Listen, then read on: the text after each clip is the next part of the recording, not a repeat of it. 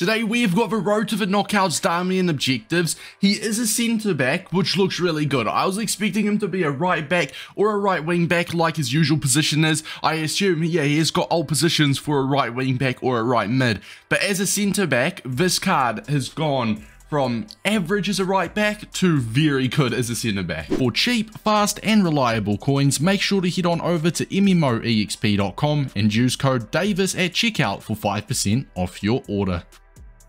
He's got a 5 star weak foot, medium medium work rates maybe a little bit annoying, respectable pace, very nice short passing, so maybe like a play out from the back type of centre back if you will. Amazing dribbling as well for a centre back, good defending, physical is on the really weak side, and this is the only thing about the card. Do you go for an anchor and only get the plus 4 pace but get that necessary strength first, or do you just stick with a 68 strength um, and rock a shadow, give him the plus 8 pace, but you know, just hope he doesn't get out strength too much. That's a decision decision you have to make. But nonetheless, boys, at least get into the objectives and how you can complete them in the most efficient way possible. First of all, you've got assist 5 goals in squad battles on at least semi-pro difficulty, or you can do it in rivals and FUT champs. That's simply up for you to decide, but I think this early on into the game, it only makes sense to do it in squad battles. Uh, so you need to get assists with an Italian player, so those assists can be a through ball, can be a normal pass, across, anything. Just need to get an assist with Italian players. You need 5 of them to be exact. Score 8 goals in squad battles, once again, at least semi-pro rivals or champs, using a player with at least 80 dribbling, okay? DRI is dribbling, um, so need a player with 80 plus dribbling. Concede one or less goals per match in four separate matches in squad battles on at least semi-pro, and this is where I definitely would just go, yeah, do these objectives in squad battles on, on semi-pro. I don't recommend trying to do this in rivals or FUT champs.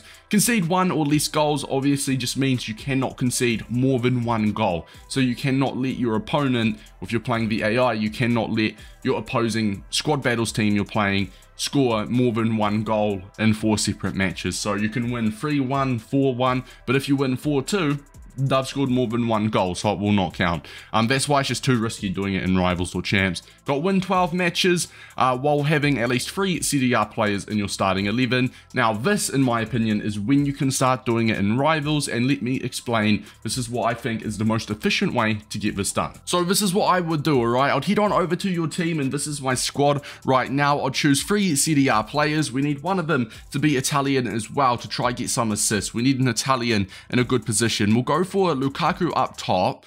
Uh, why not go for Bastoni? We need like an Italian midfielder that can help us get some assists.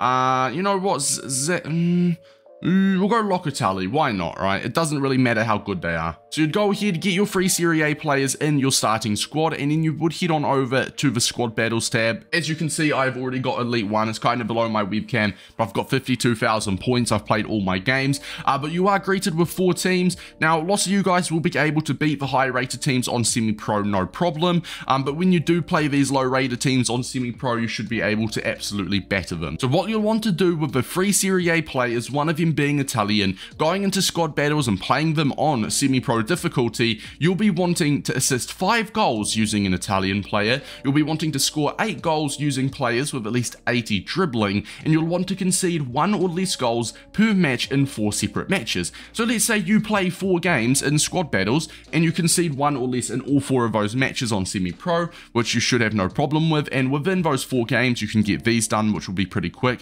In fact, you could get these two done in the first game if you are good enough, um, but that's personally what I would do on squad battles. Then then you'd be left with 8 wins to get in Rivals or FUT Champs with just at least 3 Serie A players in your starting 11. Then what you can do is go into a Rivals or FUT Champs game pause it straight away and sub off your free Serie A players for your main starting team players that you'd normally use. So it basically is just going to feel like a normal match with your normal team. Just to recap one more time, get free Serie A players in your squad, one of them being Italian so you can get some assists, go into some squad battles, semi-pro matches, and you'll want to get 5 assists with an Italian, 8 goals with a player with 80 plus dribbling, and you'll want to concede 1 or less goals per match in 4 separate matches You'll then be left with the wins, with at least three Serie A players in your squad in Rivals and Champs, and this is where you'll simply want to do Rivals or Champs. It's up to you, you could keep doing squad battles if you want, um, but you may as well do Rivals if you're playing and grinding Rivals anyway. You can just sub them off straight away, and will, for the main players that you normally use, and it will feel